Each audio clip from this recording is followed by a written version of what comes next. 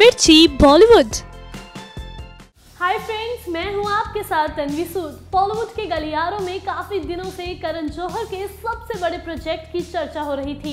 अब लीजिए फाइनली करण ने अपनी इस फ़िल्म की अनाउंसमेंट कर दी है। बता दें कि करण जौहर की इस मेगा बजट फ़िल्म का नाम तख्त रखा गया है।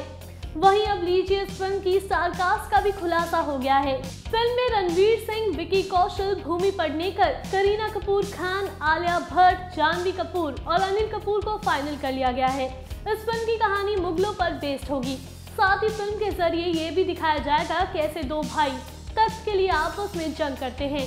फ़िल्म में रणवीर सिंह और विकी कौशल दो भाइयों की भूमिका में दिखाई देंगे।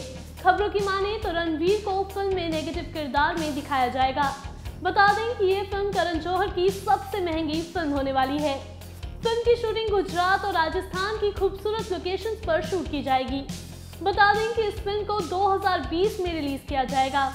वेल देखना तो अभी काफ़ी इंटरेस्टिंग रहेगा कि स्टार से भरी ये फ़िल्म लोगों को कितनी पसंद आती है।